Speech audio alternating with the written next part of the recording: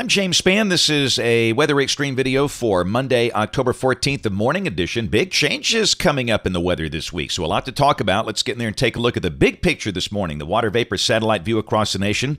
Got a large scale upper trough in the west, and that will be playing a big role in our weather later this week, but today will stay dry. Feels pretty good this morning. We're starting off the day mostly in the upper 50s and low 60s. The cool spots, Fort Payne and Cullman at 54.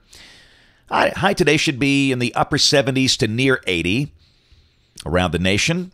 Pretty chilly around the Great Lakes and back in the western states. See a lot of 30s there. In fact, I'm looking at frost and freeze advisories for uh, parts of Illinois and Wisconsin as they are ending their growing season.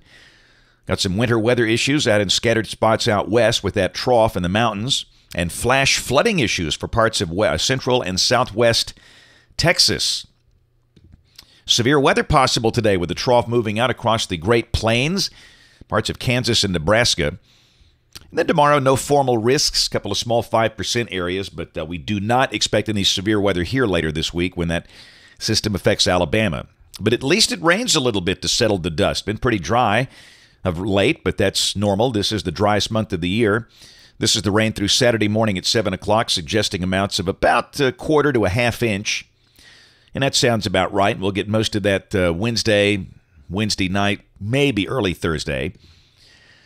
Tropical weather in the Atlantic basin stays very quiet. Little weak uh, wave just off to the east of the Windward Islands, but that's not going to do much. All the action's been on the other side in the Pacific and the Indian Oceans. Uh, this is a look at uh, Typhoon Wipha, which will be sideswiping Japan uh, in the next uh, few days. That'll be close to Tokyo. Have to keep an eye on that thing. Uh, should be weakening with time as it moves across uh, or moves close to Japan. But As you can see, the official track has it just offshore. Let's check the GFS. Let's talk about these changes here. The global forecast system. This is valid at 1 o'clock local time this afternoon at 500 millibars. There's your trough in the west. We've still got ridging here, so today should be dry. I'd say the high 77 to 81, but boy, look at the low coming out of the Rockies almost 1,000 millibars at the junction of Colorado, Kansas, and Nebraska. And you can see why there could be some severe weather in advance of that and screaming winds on all sides of that low.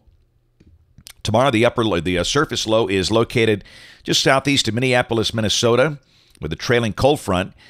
But for us, we think the day will stay dry. Um, maybe some increasing clouds, the high mid to upper 70s. And then Wednesday, the front just kind of drifts in here sluggishly. Uh, so we'll start that chance of rain probably Wednesday morning, maybe early Wednesday morning before sunrise. So Wednesday, the chance of showers. Will it be a big rain? Probably not. Rain amounts ought to be under one half inch. Will there be severe weather? No. And probably no thunder. Wednesday night, just after midnight, the uh, GFS just kind of dries the rain up as the uh, support lifts out but the cold air drifts down. The thickness values coming down in Thursday. That looks to be a relatively dry day. We might start the day with some morning clouds, maybe the sun peeking through by Thursday afternoon. I'd say the chance of rain Thursday morning looks pretty small with this. And the day will be noticeably cooler. Here's a look at Friday. Look at the cold air coming down the 540 line, uh, well below Chicago. Thickness values are really dropping here. That's going to make it a very chilly morning. I mean, uh, uh, this would suggest the low Friday morning would be in the low to mid 40s. Hey, break out the jackets and the sweaters. Here's a look at the plot coming off the uh, model data, and you can see how our numbers do bottom out really both Friday and Saturday and Sunday morning. All three of those mornings, we ought to be in the 40s. Afternoons with just a slow warming trend. Uh, the high Friday afternoon, around 70, and then we'll be in the low 70s for the weekend. Speaking of the weekend, what's it going to do? Let's take a look. This is Saturday. Hey, this is race weekend at Talladega. What's that Dega weekend going to look like? Well, uh, models are conflicting a little bit. The GFS, if you take this on face value, it's going to be a gorgeous weekend. This is Saturday, a surface high nearby, bright sunny weather with a high in the low 70s, and the same thing on Sunday, just gorgeous. Uh, chilly mornings, comfortable afternoons, couldn't be better. That's a GFS. The European, though, says, ooh, this is Saturday. And it shows a, a wave coming in from the west with some rain.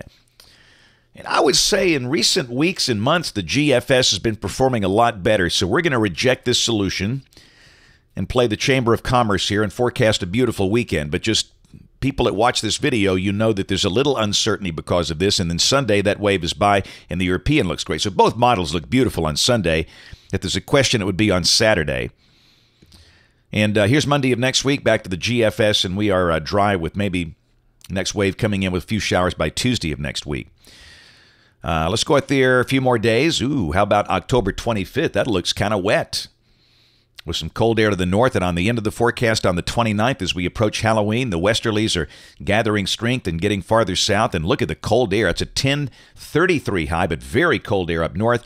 Around here, that would be kind of mild and showery if that happens to be correct. That's it for the Weather Xtreme video today. We'll have notes in the blog. Next video here by 4 o'clock today. If you can, catch us on ABC 3340 News this evening on the live stream or the television side at 4, 5, 6, and 10. Thanks for watching. Have a great day, and God bless.